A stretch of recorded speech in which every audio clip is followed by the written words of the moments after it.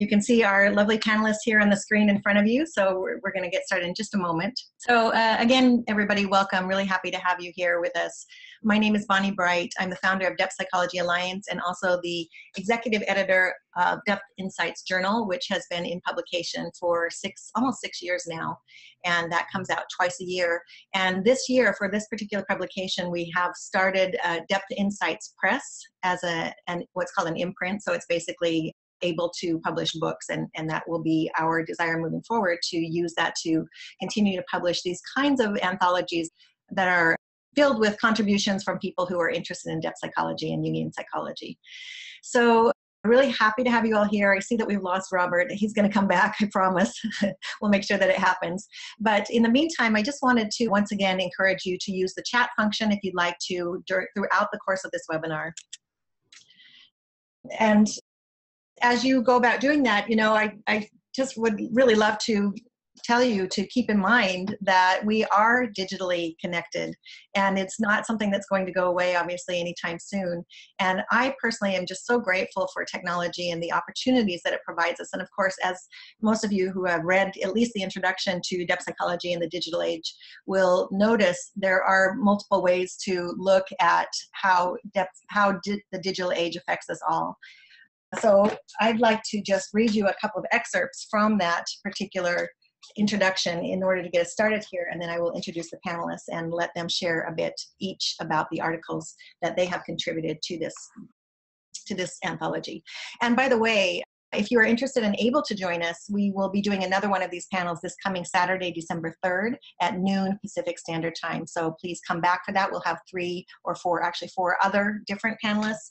And we'll also be recording that if you can't make it but you're interested but it's always great to have people attending live because we have that interaction and that interconnectivity so uh, as most of you know, there there's a lot of controversy about the digital age. Technology has been vilified by a number of people, and obviously it's been praised and really even lauded. It's been so heavily adopted that we can't imagine our lives without technology at this point in time. And we've heard of, of some of these disorders that are stemming from the whole technology thing like cyberchondriacs which are is a term that is now used for people who go and diagnose their symptoms online for medical symptoms and I, i've been guilty of doing that many times i'm sure that most of you have too there's also something called Facebook addiction disorder. I suspect a lot of you that are listening to this can also relate to that and understand, kind of goes without saying, obviously, what that is. But but you know um, there's a lot there's also a lot of good things that can come from that. And some people particularly on the jungian side of things uh, coming from the psychology of cg jung who was born actually in 1875 and died in 1960 or 61 61 i think he uh, he obviously didn't know anything about the digital age but he expressed a lot of concerns about modernity and how modernity was affecting us and part of it was just really interfering with our capacity to be reflective. And so, those of you who have, read, who have read the article that I contributed to this, I talk about something that's called the Great Acceleration, which is a term that's been identified by some social scientists who refer to the fact that our population on the planet has tripled since we began, uh, well, really, since we began focusing on consumerism in a, in a large part. And so part of my article is about that as well. And, and it's also in large part about e-waste. And that with that tripling of the population, we've also increased exponentially our need for cables to connect us all, for transportation, for communication and so all of these wires have had to go in everything has just intensified really rapidly and and has grown really rapidly and I know that a lot of you are probably feeling, as I often do too, just the overwhelm that comes from moving at a particular pace. And so, where does that, you know, where do we begin to sort of get a foot in the door to start to find again some balance and and to really start to tease out what it is about about technology really that can be productive and generative and not just difficult and causing us additional problems. So there's a woman by the name of Dolores E. Brien who is a Jungian analyst, and she's written about technology from a depth psychological perspective for many decades now. And she talks about the internet uh, as being an extraordinary locus L O C U S, so a, a, focal point, really, a, a, generative point. She says the internet is an ex- extraordinary locus for fathoming the depths of the collective unconscious of our time. It can be as fertile a psychological field as fairy tales, folklore, and ancient myths have been. On the internet, new myths are being formed, hitherto ignored archetypes are coming into their own, and new adventures for the psyche await us. So I like to look at it from that standpoint, all the while being very aware that there is obvious there are obviously a lot of challenges that are associated with it. This this book contains a wide variety of articles on, on a wide variety of topics, everything from video games to the internet to a little bit of artificial intelligence, and, and many other topics, almost every topic that you can imagine in technology. And we probably will cover some of all of those today, I'm hoping. But without further ado, I'd like to really turn the time over to our panelists so that they have plenty of time to talk about their contributions. And, and hopefully we'll still have a little bit of time at the end for some discussion, some Q&A. And as I mentioned, you're welcome to type in questions if you have them, and we can either take them kind of individually as we go, or maybe we'll save them to the end, depending on what happens. So, and I also see that Robert didn't make it back, so I might have to disappear for a minute and see if I can go help him come back to the meeting. He's done this many times, and I suspect that his problem might be internet. So, but without further ado, let me share a little. Let me introduce our first panelist, and I think that you'll be fascinated by what he's saying. I was mentioning to him before we started today that his article is really one of my favorites in the book. It's called Madness and the Map. And so we'll be hearing first from Drew Foley, PhD. And let me just share Drew's bio with you so that everybody has some background on him. And then, and then Drew, I will turn the floor over to you. So Drew Thomas Foley, PhD, is an educator, researcher, and entrepreneur. His interest in depth psychology and the digital age traces back to his undergraduate studies in psychology at Willamette University in Salem, Oregon. For the last 25 years, he has lived and worked in Southern California, where he earned a Master's of Business Administration from Pepperdine University and a Master's of Arts in Human Development from Fielding Graduate University. In 2012, Drew earned his PhD in Human and Organizational Systems from Fielding, and his dissertation, Navigating Mythic Space in the Digital Age, focuses on how digital technology shapes the ways that we live, work, and learn. He continues his research as a fellow for the Institute of Social Innovation and teaches courses in organizational development and technology management. So Drew, thank you so much for being with us today and spending some time. The floor is now yours. All right, thanks, Bonnie. And I hope Robert makes it back. One of my rules in life is that it's always fair to blame technology. Sounds uh, good. So, uh, so with that, um, I thanks Bonnie also for bringing the book together. It proves that all things are possible with patience and persistence. It does. So I just wanted to share a little bit first about the digital age, then about maps, and then about madness. And so that's what I'll use my couple of minutes here for. So the digital age is something we all inhabit the digital age, but it also inhabits us. It inhabits the way that we see the world and the way that we think about the world. And that first became um, became um, aware of that when I was in high school and I programmed computer video games for the uh, VIC-20 and the Commodore 64 and the Atari 400 and the Atari 800. So I wrote a video game uh, for the VIC-20, which was a computer that had uh, 65 uh, K of memory, uh, which my computer that I'm talking on to you today has about a million times as much memory as that computer. And so every character that was created on the screen used up space and memory. So I wrote a video game called Ruse on Fire, which was like Donkey Kong. It was kind of a, a either a ripoff of Donkey Kong or a tribute to Donkey Kong, depending upon your perspective. And what I realized uh, about the digital age was that when I played the game and uh, published the game, I had a bug that was first reported to me in which someone playing the game reported that when they used the joystick and held it all the way to the right, uh, at the bottom of the screen, eventually the head of the kangaroo would disappear, and then you could play the game with a headless kangaroo. And so, what was happening in that computer program was that the joystick was running through the memory of the computer and eventually overwrote the part of memory where the kangaroo's head was stored. And so, what I learned from that is digital information is different than analog information. So when you turn a one into a zero or a zero into a one, it causes an effect that you may not be able to imagine or foresee. My second story is about maps. And in the year 2000, I got the job of convincing auditors around the world that the world was not going to come to a halt on January 1st, 2000, that we would still be able to continue processing information. So I traveled around the world and flew from airport to airport. And one of my trips took me to Newark, New Jersey. I was actually born in New Jersey, but hadn't been there for a long time. And so I got off the plane, got my rental car, and I could see the hotel from the rental car lot. And I could see the hotel and figured it'd be easy to drive from the rental car lot to the hotel. So I didn't pay too much attention to the map or the signs. I quickly found that I had taken a wrong turn and I attempted to get back. I saw a sign that said it was the way to New York, so I figured I didn't want to go that way. So I went the opposite way. And I quickly found myself on a thoroughfare or expressway in New Jersey.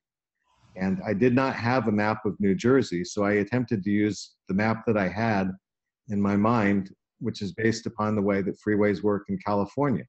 So I exited the freeway with the assumption that there would always be an on ramp. Everywhere there was an off ramp, there would be an on ramp. So I exited the freeway, and in New Jersey, that's not true. So anybody who's from the East Coast knows there are some differences in the way that routes work. So I exited the freeway and I attempted to get back on, and I proceeded to get more lost. And I eventually drove into the heart of Newark uh, and found my way back onto the freeway and thought I was going towards the airport and ended up about 20 miles in some grocery store in Newark where somebody kindly helped me to get back to the airport. What I learned is that we carry a map inside us of the world that's around us. And the map orients us and it directs us. So in today's world, if I was traveling on a business trip, I would have a GPS system, which would probably direct me. It would give me instructions. It would tell me where to turn, and it would provide a visual cue. And unlike maps in the past, in the, in the map in the past, I would be located on the map and I would see myself moving on the map. In today's GPS environment, we're the center of the map and the map moves around us. Uh, so the way that we think about our place in the world is fundamentally changed now that we're in the digital age. And the final story is about madness. And madness is to leave the known map and venture beyond the edge of the map. If anybody remembers from Dante's Inferno, Ulysses was sent to one of the deepest levels of, uh, of the underworld for going beyond the edge of the known map. So his punishment for attempting to leave the map was to be relegated to the deepest level of the underworld. So we always exist within a known paradigm. So Edward Harrison is a cosmologist who wrote a book called The Masks of the Universe, which says that in every age, we live in a time where we have an understanding of the universe that is our mask through which we see the universe, perceive the universe, and understand it. And in every age, we view that as true or accurate, an accurate representation of the way that the universe is. And so the digital age for us represents a way of seeing the universe. The universe uh, we see through the eyes of being in the digital age. So that's a paradigm which can, creates a guiding story. And what happens in a guiding story is it doesn't just present a map to us, but it also describes the methods of map making. What's a valid map? So for example, a method of map making, a cartographic map would tell me how to get to the airport, whereas a symbolic map might show me the purpose of the airport. So maps both describe the world and they, uh, they create the world. They're descriptive and prescriptive. So we live in an age now in which there's competing guiding stories about the nature of the world. We live in an analog world and we live in a digital world. So for example, right now, my voice is analog. It's recorded by my microphone on my computer, and it's presented back out over the speaker of your computer as analog. So we're often switching between analog and digital. Every time we switch between analog and digital, we gain organization, but we lose Right. meaning. Okay, you're still on the phone. Uh, so in this translation between analog and digital, uh, we are continually making that transition. So on my MacBook Pro screen, I have a digital pixelated icon of an analog clock. And so we, when we press, drive a car, we're operating both in an analog and a digital world. When we brew coffee, We're operating in both an analog and a digital world. So there are competing maps and competing stories in the world that we live in. And we need to reconcile those two stories, those two views of the world, in order to have a whole view of the world that we live in. So to close, I would say that there's an emerging paradigm that we don't yet know what it will be, and we only have the language, the grammar, and the ideas of the paradigm that we live in. So, for example, the keyboard on my Mac Pro uses a paradigm of a QWERTY keyboard. And I learned to type on a manual typewriter, which was a Royal typewriter. And when you press the key, how hard you press it determines the darkness of the type on the paper. But on my digital keyboard, it's one or zero. It's on or off. It's all or nothing. And so even though we're following the same metaphors, the meaning is different in a digital environment from an analog environment. And so I think we're working towards a synthesis of the analog and the digital that will lead us to a new kind of uh, paradigm or understanding, perhaps something connected to Priscilla's hyper reality. Yeah, it's just so fascinating, Drew. You know, one thing that I, and I, I apologize because I was away for about two minutes of that, but I heard most of it. I don't know if you mentioned it in in what you just said, but part of what I really loved about your article was where you also mentioned the god Hermes, and you talk a lot about boundaries and where boundaries are on the internet or, or where they are not. And Hermes as the god, the Greek god who is really the traverser of boundaries. And um, there's one piece in here that I just found so interesting. I, if you don't mind, I just want to read this and kind of leave this with people, and then if, if it provokes questions later, that would be fine. But you talk about Hermes as the boundary crosser, the creator and disruptor of boundaries. And you note how his name is taken from the word herm, which refers to a, a, stone, a stone marker or a border. That's where it originally came from. So you, you write, it is fitting that the God of markers is also the God of the unmarked. He is the God who erects boundaries but, but does not abide by them. Akin to the Native American trickster figure of Coyote, he's the breaker of rules. He's the God of the road that leads home to the familiar, and He's the God of the road that leads to the unknown wilderness. He's the God of the point of origin, the destination, and the liminal space that lies in between. Not only is Hermes present in the digital age, he is present in the most intricate and vast set of gateways ever created. The internet itself is not simply a digital network, but rather a network of networks, each connected through a gateway that directs messages. So I, again, I mean, this just proves what a powerful metaphor the idea of the map is and, and how, you know, beginning to navigate this and locating ourselves within this is really a, a critical piece of it. So thank you. Beautifully written article, really beautiful ideas. And uh, I highly recommend uh, everybody that you might even want to start with Drew's if you pick up the book.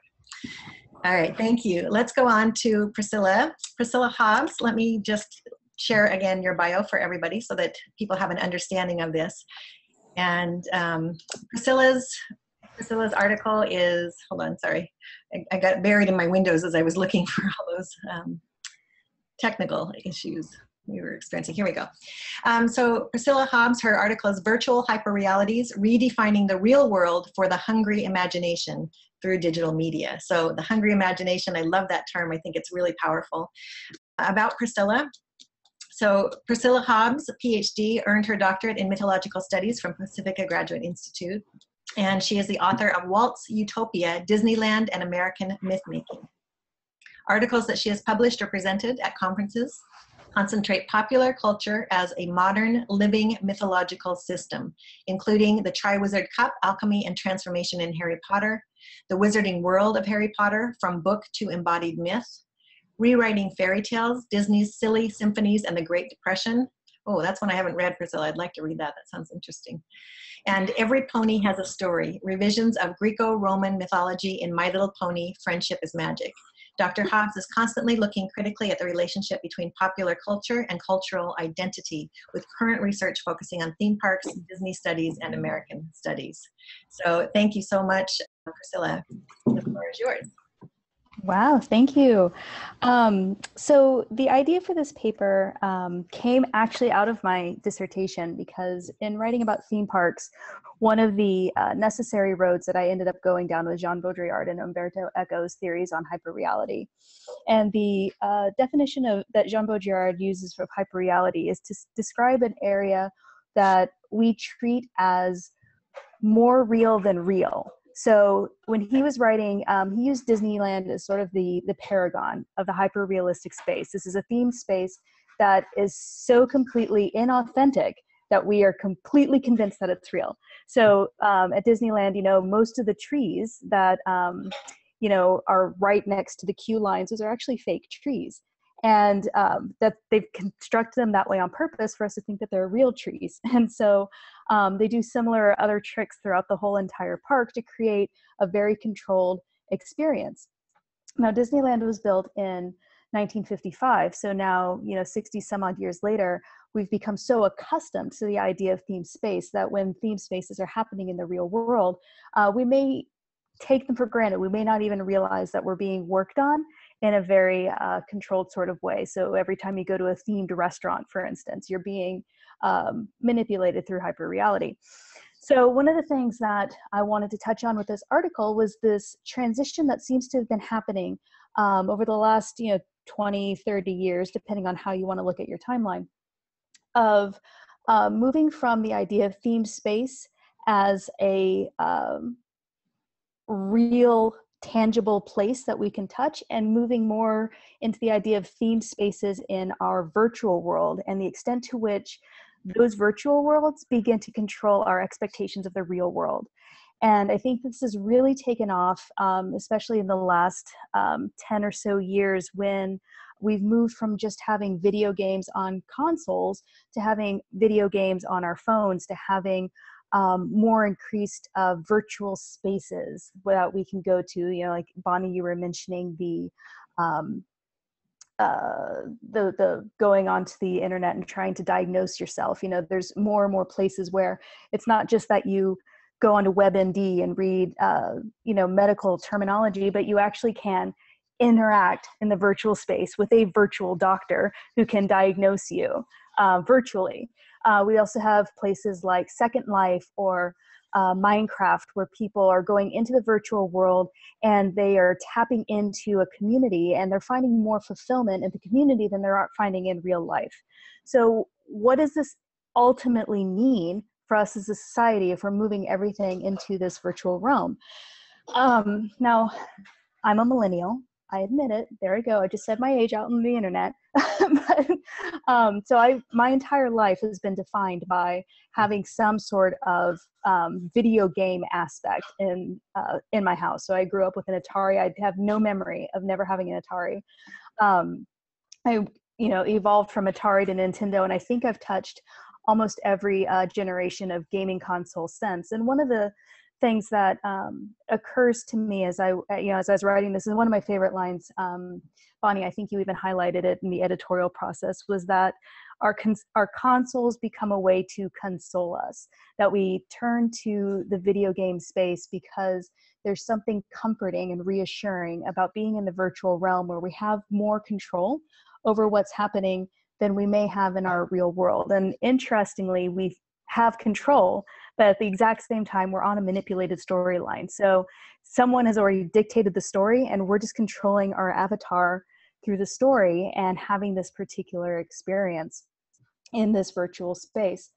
And we've moved this um, from like Mar- super mario brothers and the legend of zelda into things like farmville or um, you know places where you can spend bitcoins and you can have like this you know spend real life money on a you know the clothing for your avatar and you know build yourself this little you know kim kardashian like dream house in your virtual space using real money. And uh, you know we like to live in there as if it's someplace else. There's this interesting phenomenon of people who meet on like world of warcraft or second life and then they end up um, you know getting into a relationship and getting married. And then as soon as they meet in the real world their relationship falls apart. Like the only place it was solid was in the virtual realm. So many of these people just keep their relationship virtual and never have the physical interaction because the emotional satisfaction that comes from the virtual relationship is that much more potent than the relationships and they could form in the real world. So it takes it to a very interesting place where, you know, um, as psychologists, we've talked for decades about the importance of the physical connection with people not just the emotional connection that you know the nature versus nurture you need to actually have contact and um, we're creating this whole generation of people who are far more comfortable not having the physical contact as long as they can have the very strong emotional uh, relationship with the people that they find most meaningful. So we end up developing these relationships in the virtual space with you know people we may never have met they're people miles and miles away and it creates this interconnectivity of the world that i don't think even jung could have ever anticipated. Um, you know it's it, it, takes globalism to this whole new realm. It's not just uh, you know consuming the space but it's it's connecting us in this very deep you know relevant sort of way. And um, you know i when i think of the hungry imagination i think that it comes from um, sort of this weird uh, relationship that we've created for ourselves between um, you know consumerism but also uh, our interactions with other people. And so um, you know american culture in particular because all my roads lead back to america um, we've created a society where uh, we define ourselves based on our abilities to consume so if you're considered a uh, successful American, air quote successful American, it means that you have uh, a certain threshold of consumability. You can have a car, you can have a home, you can have the two and a half kids, the dog, the big screen TV, and you can do all of this theoretically without debt. The reality, though, is that um, to achieve that concept of um, the American dream for, especially for the millennial generation, is actually nigh impossible unless there is a lot of debt involved. And so, um, you know, the millennials in particular, I find are uh, reaching beyond what they can have in the physical realm and going into the virtual space simply because it gives them that opportunity to have that meaningful connection without necessarily being tethered to the consumerism but we're also talking about generation of people who know how to do nothing else but consume. So um, it, it, it's this really very interesting um, almost conflict of interest that's happening. And it's it's definitely a paradigm shift and it's something that we're going to want to watch uh, definitely far more closely. When i first wrote this article it was back in 2012 so uh, we were definitely facing a completely different america than we're facing today. And so um, you know things everything that you know we wrote about in this book may completely be overturned next year and the the significance of that virtual space may, may become that much more important. You know we may see um, more people reaching out to the virtual space like even just within the last month the amount of groups who are using the virtual space as um, political activism and they're making like best friends on the virtual space especially on facebook. Um, because it's the only place where they feel welcomed and they can gain the reassurance that they are in fact um, you know significant and authentic. And so um, you know i think it would be actually very interesting to revisit this conversation um, after january. But um, definitely for sure um, we also are going to possibly there's there's already conversations happening that might put the virtual space at risk. And so um, you know we've developed this world as bonnie said the internet's not going anywhere but is it going to necessarily be the accessible tool that it is now? And so as long as um, you know there's enough of a fan base who's willing to keep it moving forward in a positive constructive direction we can we'll still have this utility available to us but it's quite possible that um, you know we've also created an entire uh, generation of gamers who are so used to having the narrative fed to them that they may not be able to fully recognize the shift that happens in the internet before it actually happens and of course, I've completely digressed entirely away from the article, but you know, Bonnie did say informal, and I started rambling. So, um, but yeah, and you know, I do want to also say, um, if, if Bonnie, if that's okay with you, that I want to give a shout out to um, Jordan Shapiro. He was uh, one of the original um, brain children behind uh, this book and um, he had to bow out you know as everyone frequently does when they start right doing a lot of projects and dissertations that certain other projects have to go by the sidelines. But i do want to give him a public shout out for um, you know have being part of the initiation of this project and um, you know helping to uh, give us the call to adventure that led us to this this final book Absolutely. Thank you. Yeah, Jordan was the brainchild behind the whole thing and launched the the call for proposals and and uh, even was with us for a good portion of the the first initial submission. So yeah, we miss him and I think that this book would be a great tribute to him. Thank you, Priscilla. You know, it's just so fascinating what you're saying about the whole millennial and the next generation. And I, I wrote down what you said about um, that this is a generation that knows how to do nothing more, uh, who doesn't know how to do anything but consume. I, am not sure that was your, your, exact words, but that strikes fear in my heart. And yet, it's something that I've done a lot of writing myself about, not in those terms exactly, not really, but I, I guess I haven't thought about it from a generational standpoint. And and it just it, it's quite terrifying on many levels for me and and yet it kind of validates on so many levels i think something that i'm feeling very strongly and that is the the need to raise awareness and raise consciousness around what's happening and around how we are in our culture because as long as we're like fish in water we, we can't see what's happening we aren't aware of it then we certainly can't begin to do anything about it and so so you know the whole approach the depth psychological approach is really important to me as most of you know and uh, and i know it's important to most of you because of the articles that have come out of this. The, the each one has have really tapped into something so prescient i think that that prescient that is really um, important for us as we begin to look forward. And you're right, it's very dynamic. It's changing like from moment to moment. So January, revisit this, yeah. Um, 2018, 2020. I mean, it's it's going to continue to be that way. And uh, there's there is one paragraph in your article that you wrote that I think is relevant to this, and it just talks about how um, it says the children of the 1980s were replaced by the children of the 1990s, many of whom know of no life without the internet. For them, the internet provides all the answers, and it is the only way to communicate with friends and family. The prevalence of the internet ensures that our world will become increasingly like a video game. The lines between the hyperreal and the real will become increasingly blurred. And we've already seen how the internet can build a new sense of community and personal relationships. So perhaps the video game heroes of the future will be tasked with saving us from the overabundance of hyper reality. So we'll see if those heroes emerge and uh, and if they are psychological heroes. some some of the old gods emerging, I think. Thank you. Really brilliant, brilliant article. And uh, Thank I you. did diverge a bit, so I hope everybody will go back and read the article itself. really provide some wonderful insights. So thank you so much. All right, last but not least, let's move on. So our third panelist is Robert Romanyshyn. So a lot of you will be familiar with Robert's work. You know, his book, uh, which is on my shelf, and it's almost like a Bible to me, uh, is, uh, I guess I should have had it out here so I could talk about it. But Robert, Robert, your work with technology, even starting as, as recently as 20 or 30 years ago, has been really really critically acclaimed and also I think provides a profound context for us. Um, so maybe we can talk more about that book in a minute, but I want to give you a chance to actually address the, the article that you wrote.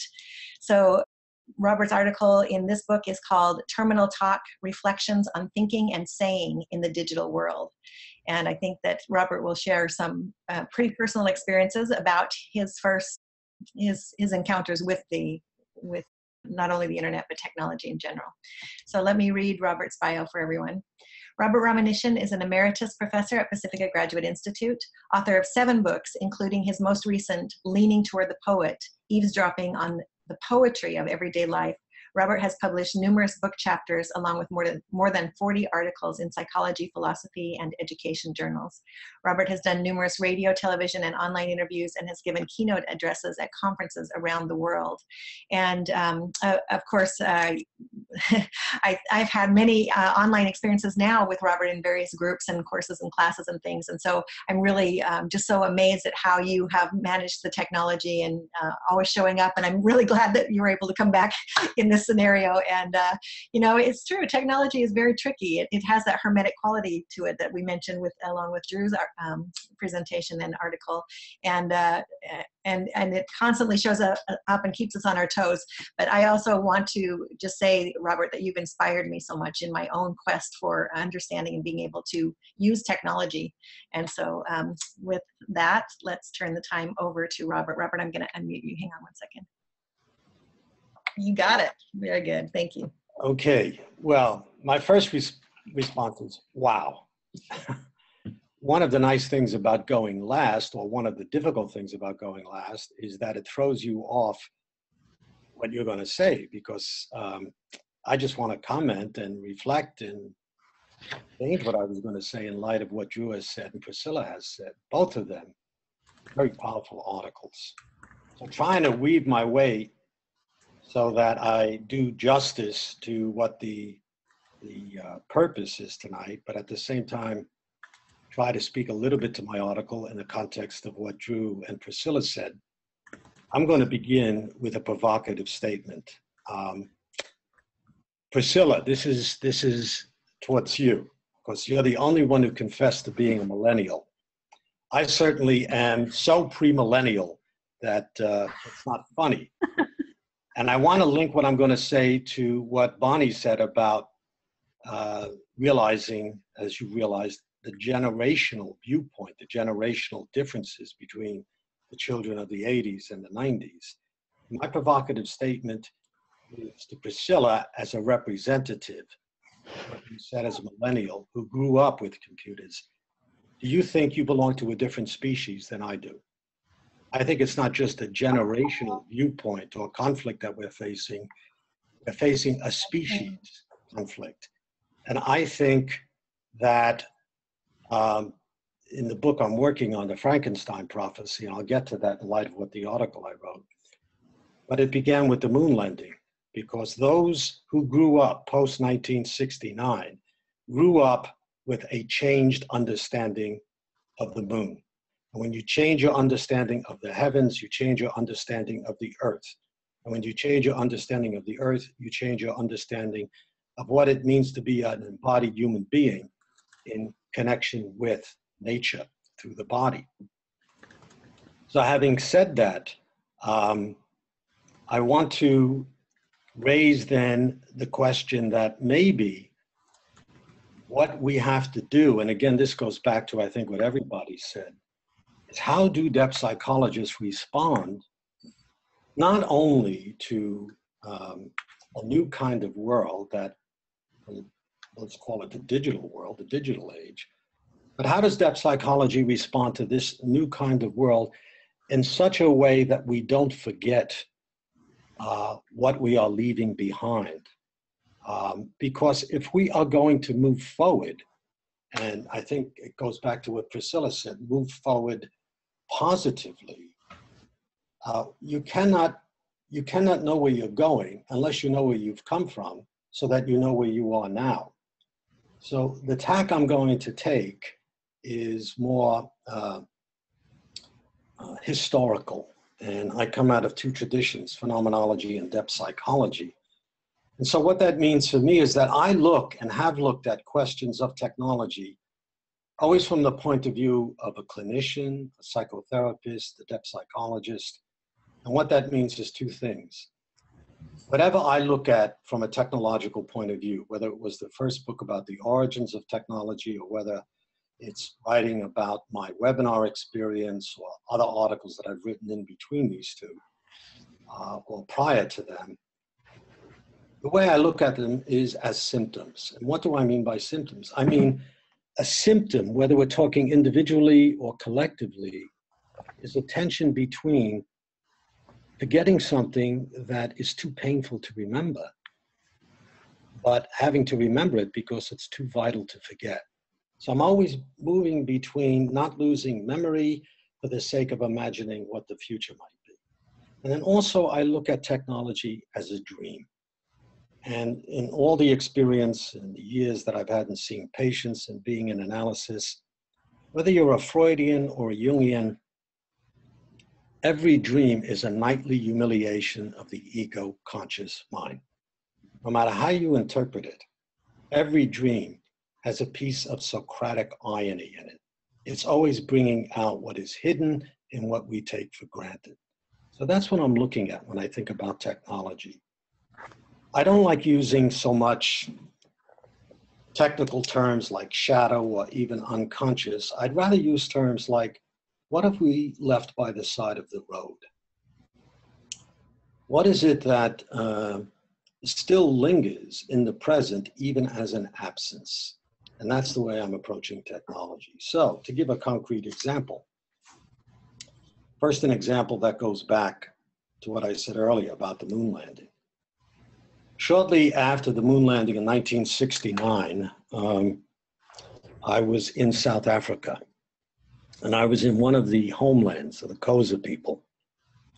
It was a really uh, privileged position, invitation. And I was out there one night in the Transkei, where their, their village is. It was a celebration that I was invited to. There were no lights there, and the full moon was there. And you don't really realize why we use the word lunacy when we're speaking about madness until you've been in a landscape where the moonbeams penetrate your skull. No light, nothing there. It's a primitive, natural wilderness. And so the next day, when I was invited to the ceremony and I was asked to give a talk, I stood up and I thanked the chief and I asked the people what they thought about the American experience of landing on the moon. And these are not ignorant people. These are not dumb people. They knew that happened, but they laughed. They said it was a trick. And I asked them, What do you mean? They said, Well, the moon hangs in the sky vertically. If you tried to walk on it, it would be like trying to walk on a wall, you'd fall off. Now, that doesn't come out of ignorance. That comes out of the fact that they live in a different world than I do. And that's where I think we are today. I think we're at a threshold that's increasingly becoming almost like an impassable boundary, not easy to cross. Drew, your remarks on Hermes, I think, are very important, and I'd like to get back to that. But the threshold that we're living, uh, living at now, I was reminded of it, and that's what led to my article. When I did the first webinar, how long ago was that, Bonnie? Maybe 18 months ago, maybe two years, with Brian Tracy on, on poetry. Am I still there? Yes. Yeah, because some, the image of the bee in the hive has come up and I don't see anybody anymore. Oh, I hit my mute instead. Yeah. Oh, all right, okay. So I, I was doing this webinar and I mentioned this in passing, how difficult it was for me to be in digital space. That's what I write about in the article, uh, particularly about seeing myself over there, but being over here. And it's not the same thing as a television experience. It's almost uh, a kind of visionary dream quality to it. But where is the I who is speaking? That was one thing. But the one thing when I started to reflect on the webinar experience was one that I had maybe two months prior to that with my grandson, who was about two years old. And I'm not a Luddite. I think we have to try as depth psychologists to find a path between not forgetting where we've come from, a sense of history, so we can imagine a future uh, and know where we are now. Between that and saying bad technology, let's just smash the machines. That's just stupid. You can't disinvent technology. So we have to find a way to really understand it and live with it. So, with my grandson, I love Skype. He lives in Austin, Texas. We can cross that boundary of space and time. I can see him. I can uh, hear his lovely voice. And one day, we had Skyped enough that he was somewhat familiar with it. He was eating a piece of toast or something. And he said, Grandpa, do you want a taste? And I said, Yes. And he came to the screen and he put it to the screen. And then he pulled back and he's not a philosopher, he was only two. But you could see a puzzlement entered into his face because there were no bite marks on the bed, you know? And he looked at it and I read his puzzlement. And that started the further reflection what it means to live in digital space. Of the many things that I, I speak about in the article, I'm only going to highlight this to give you a taste of this is we are out of touch even while we have the illusion of being in touch while we're in the digital world. There is no haptic sense, no sense of touch in the digital world. I can see all of you, I can hear all of you, but I can't smell any of you. You have no sense, there is no no interconnectedness on the sensuous sensual level between us no sense of being together as a community of embodied beings. So being in touch with the illusion of being in touch everywhere and anywhere, but really out of touch, and not being able then to to uh, to be in touch in that way, other things follow. It means we are, I think, in the way that I've tried to right now, the Frankenstein prophecy, which, by the way, Drew, based on your article, Frankenstein book by Mary Shelley is the myth of the madness of our scientific revolution. That's the myth that underlies it. The, and it's Hermes who permeates Hermes' footprint in the Frankenstein book. I say that, so I was not uh, glad to find your reference to Hermes. His footprint is all over the internet.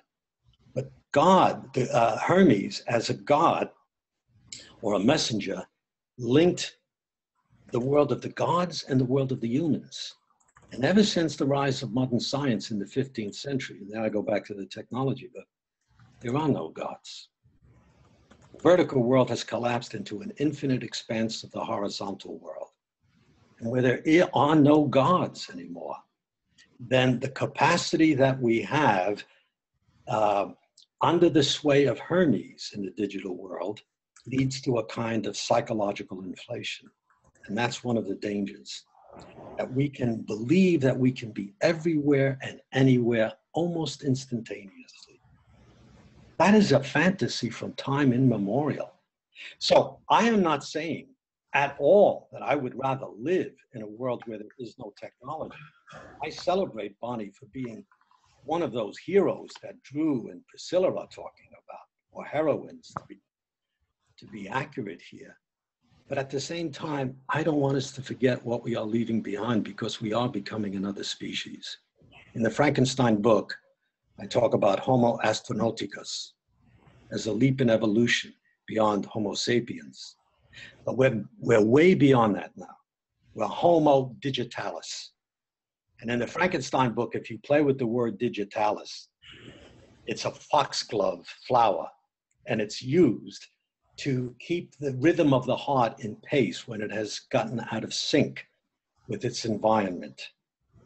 So as we peck away at the computer, you know, we we are keeping trying to keep time in a world where we're on call 24 7 is that a danger well i don't even want to speak about that i'd rather speak of it being a crisis in the old chinese sense of that term where there is a crisis, there is a danger and an opportunity.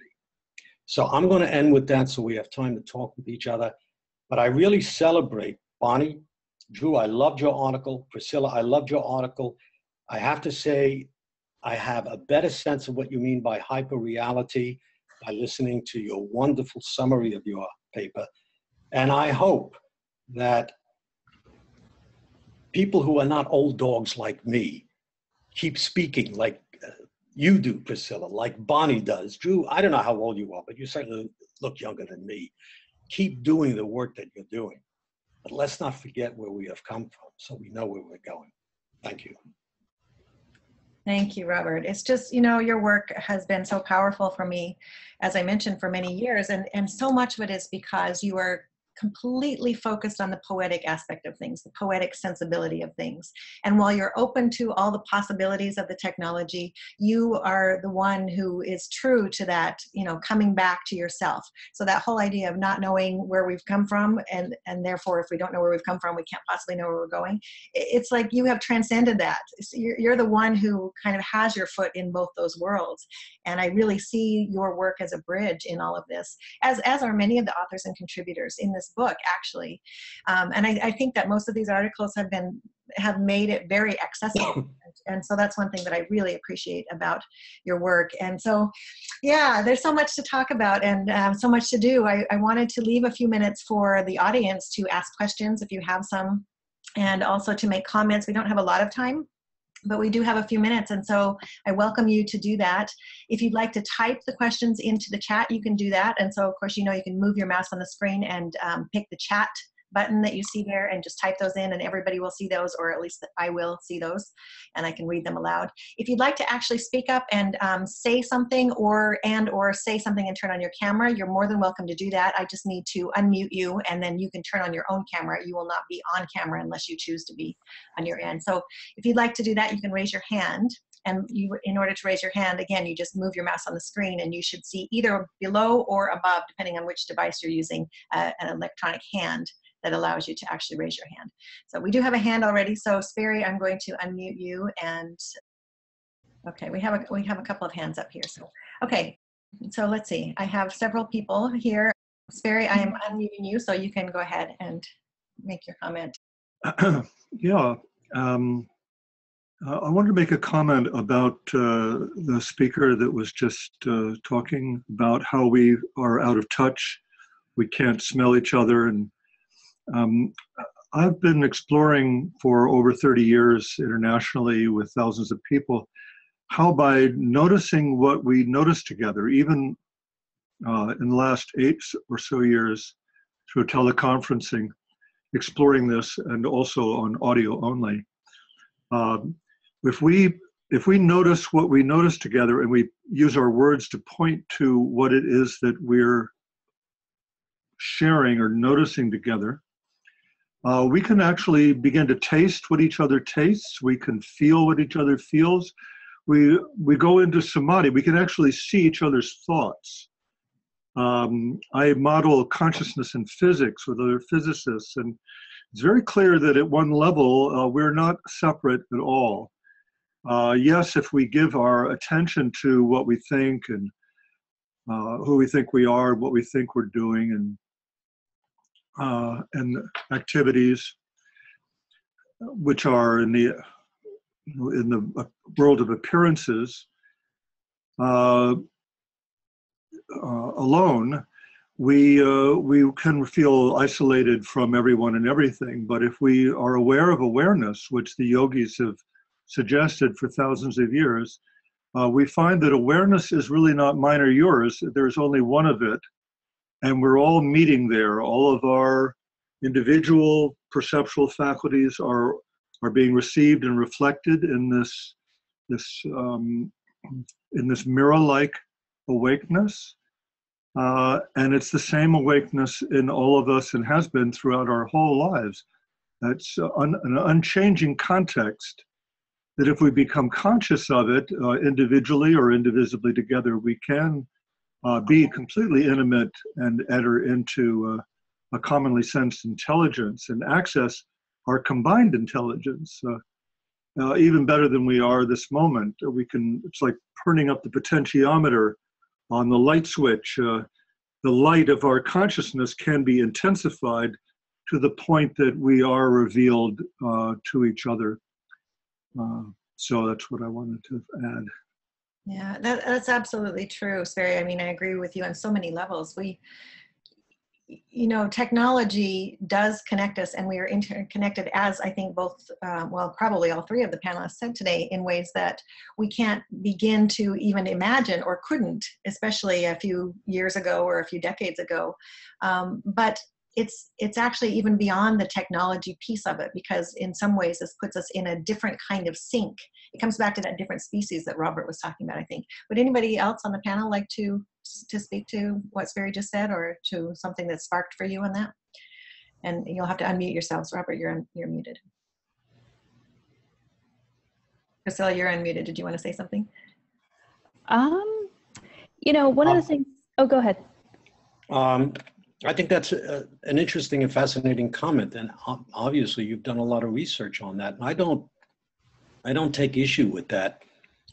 I would simply say that it's a kind of consciousness that you're speaking about. On one hand, that very few people can achieve. Mm. Secondly, it's a kind of consciousness that seems to me to be still a little bit ungrounded in the flesh and the sensuous sensual relationship between the flesh of our embodiment, which has defined our species since we first stood up in East Africa, and the sensuous display of the world. And I, I think I have a sense of that in my almost 40 years of experience with patients.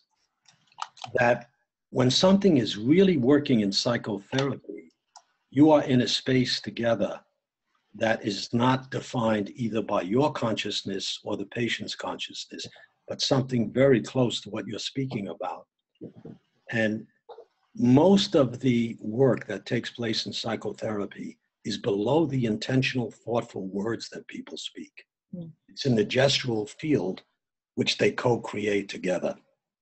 So that would be the place where I would try to continue my conversation with you. Thank you, Robert. Yeah, great. Okay, I would love to respond if that's all right. well, in the interest of time, let me just see if anybody else has a comment or question. Sure. We're running right up to our hour here, and it's always a question of whether we should extend longer or, or take these kinds of things into the world and continue these conversations online. Does anybody else have a question uh, you'd like to raise your hand? Actually, somehow, Lori, I ended up moving you into a space where I can unmute you, and I don't know if that was because you had your hand up or if if I did that by accident. So I am unmuting you. If you'd like to say something, you can say something now. Lori? Okay, that might have been an accident. All right, great. Okay, anybody else have a, a question or comment? Um, Robert, would you would you like to say more about that, or um, or one of the other panelists, Priscilla? You were going to. No, I don't want to say anymore. I think, yeah, Okay. maybe one of the other panelists want to speak to that. Priscilla, go ahead. Or another topic if you choose. Well, the um, I did want to respond to uh, Robert's question about us being a different species, because I think that that is a uh, very important question that's sort of underlying where our discussion is going right now. Is the extent to which, um, you know, the the use of technology and the adaptation of technology is. Uh, what impact is it actually having on the very function of our humanity? And you know one of the things that's defined defined humanity for so long is our use of technology. You know we um, you know archaeologists are quick to point out that you know we evolved you know uh, because we adapted to technology we developed tools we um, you know adapted to an environment that relied entirely on um, you know technology. And so now that we're using these new kind of tools are we in fact evolving into a different species? And one of the things that i always look to when we start getting into the uncomfortable conversation about the future of humanity is i look at what myths are we making right now? What are the american myths that we we see? And i always that's when i always looked into popular culture and that's one of the reasons why most of my work is centralized in popular culture. And you know i think that there's a lot of fear around where we're going. And i think that's um, sort of the same kind of fear that was expressed by mary shelley in her frankenstein was you know what could actually happen if we let technology run amok? But at the same token i think humanity as a whole is very good at self-regulating. And so i'm thinking of like um, you know I'm, I'm raving. If any of you are friends with me on facebook you've probably seen my posts ad nauseum about moana and the recent disney film. And um, one of the things underlying messages of moana is about um, it's really about the journey and it's about uh, connecting to the technology that makes the journey possible. And it's not so much about where we're going but it's about the getting there.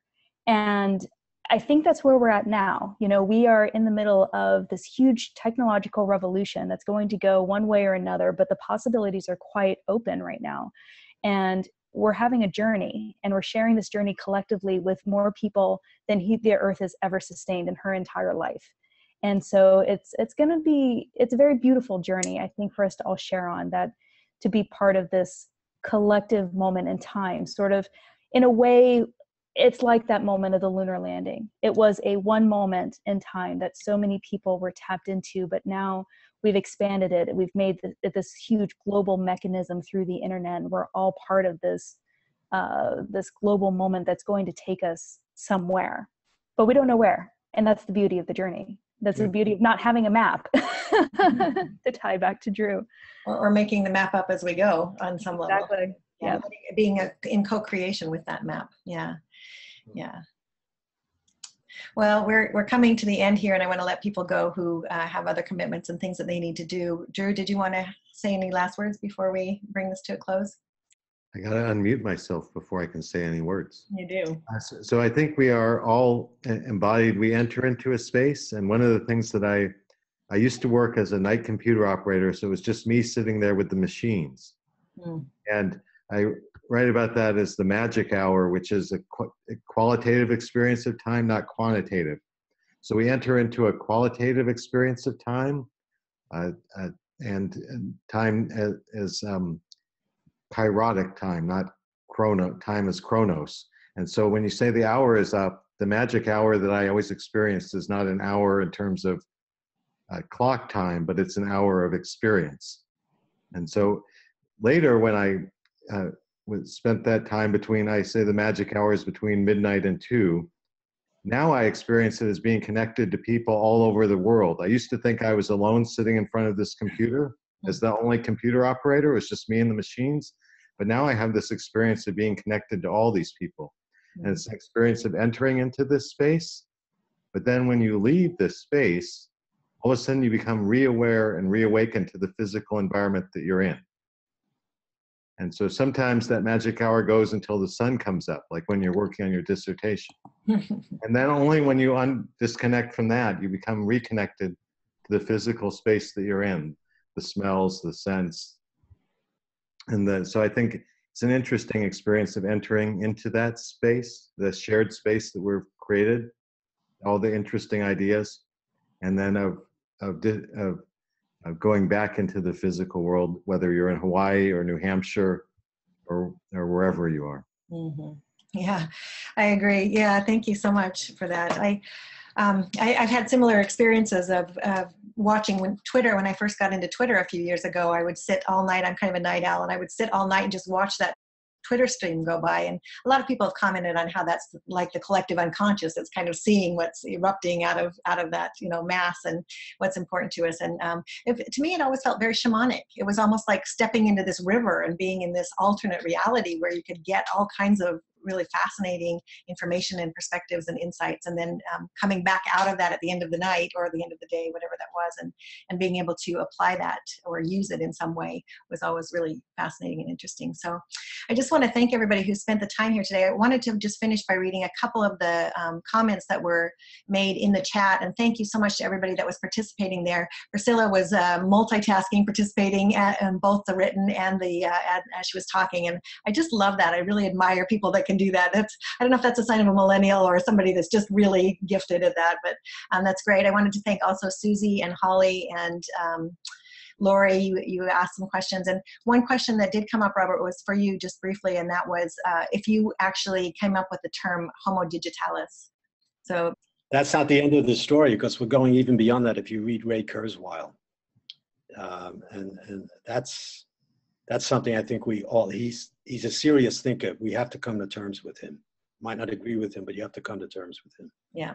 Yeah. And I think probably everybody who's watching this will know who he is. And may, I thought we would get a little more into some of his ideas, but we didn't. Maybe on Saturday, just a reminder, there is another one of these panels with different authors on Saturday. I wish you guys could all come back. We need more time with you, but Again, thank you everybody who participated.